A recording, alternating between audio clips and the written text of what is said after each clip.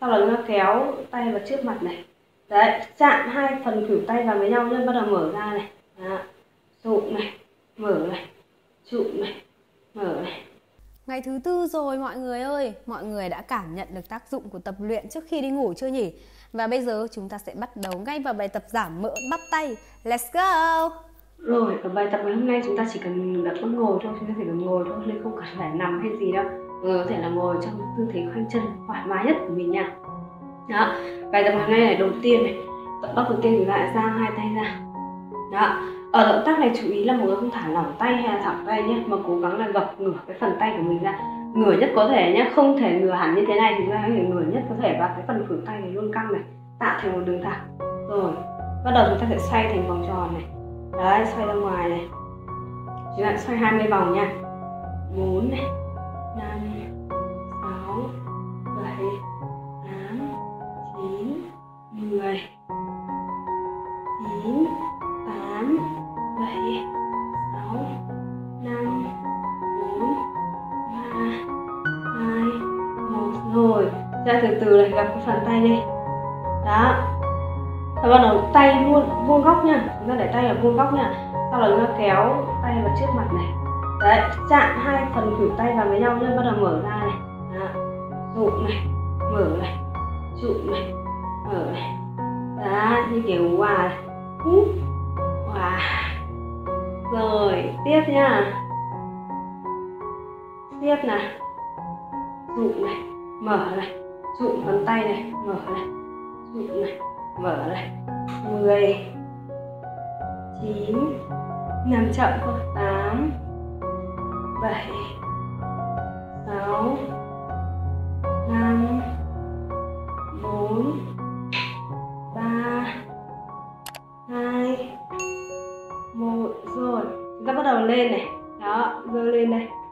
Xuống xuống đúng cái điểm vuông góc nha, không để xuống thế này, xuống thế này, hay là xuống thế này nha, mình ra xuống đúng cái điểm này, vuông góc này. Lên thẳng tay ra, kéo căng tay ra xuống này, đúng điểm vuông góc này. Tiếp. Đúng điểm này xuống này, lên xuống này. Đúng điểm vuông góc nha trong động tác này chúng ta có thể là nằm khi mà ngồi, chúng ta có thể là siết cái phần bụng của chúng ta lại để là tăng thêm cả phần cơ bụng nữa nha. Xuống này, rồi. Lên xuống lên xuống này. 10 nhịp nữa. 10 9 8 7 6 5 4 3 2 1 Rồi chúng ta sẽ kết kết hợp hai động tác vừa nãy vào này. Trụ này, mở này, lên, xuống, trụ, mở này, lên, xuống, trụ, mở này luôn luôn nhớ là cái phần hai tay của mình nhá. Không được xuống thấp quá mà phải đúng với phần ngang vai vuông góc của mình nhá mở này, lên, xuống trụ mở này, lên, xuống. Khi mọi người chưa quen ấy, mọi người có thể là vừa tập vừa nói theo như mình để là có thể thả cái phần nhá. Lên, xuống. Trụ mở này, lên, xuống. Năm, bốn. Mở này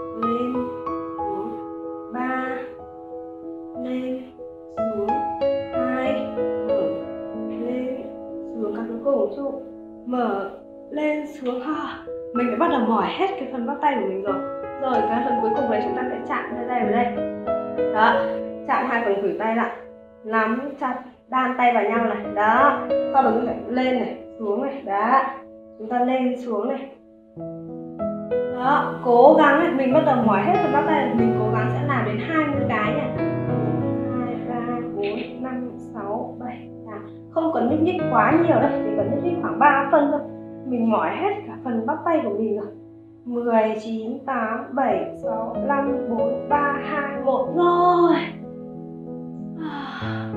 Đó, chúng ta nghỉ 10 giây nhá Sau đó chúng ta sẽ làm các động tác vừa nãy Và làm tư thế ngược lại. Lặp lại các động tác vừa nãy. Ba hai một rồi và tư thế này hai tay giãn ngang ra này. Thẳng phần bàn tay lên lại bắt đầu xoay theo.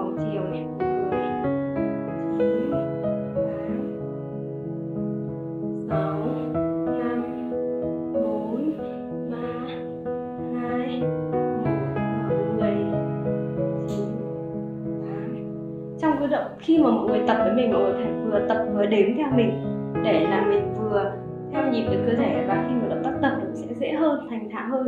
Rồi rồi, từ từ, giơ hai tay lên. Thế là mình mỏi hết cả bắp tay rồi, cố lên, chúng ta chỉ còn nửa thời gian nữa thôi.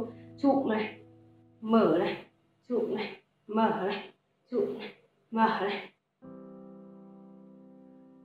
Năm, bốn, ba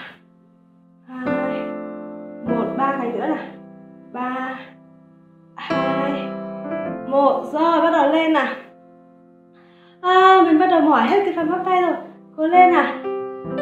Rồi xuống này lên xuống lên xuống. Mọi người nhớ là luôn luôn vuông góc không được xuống thấp quá nha. Rồi vừa tập vừa đếm lên xuống lên xuống lên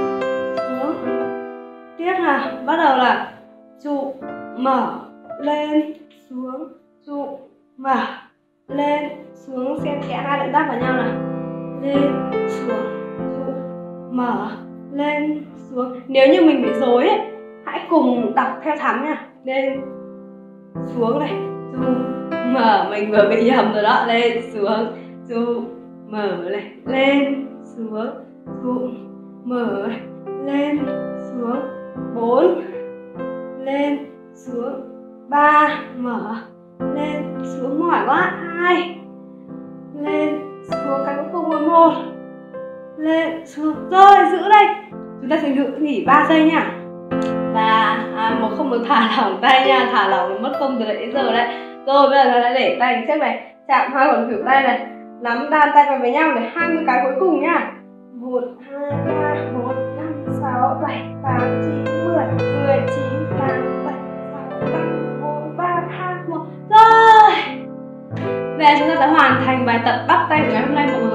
phần bắp tay này phần bên vai để cho chúng mỏi hết không?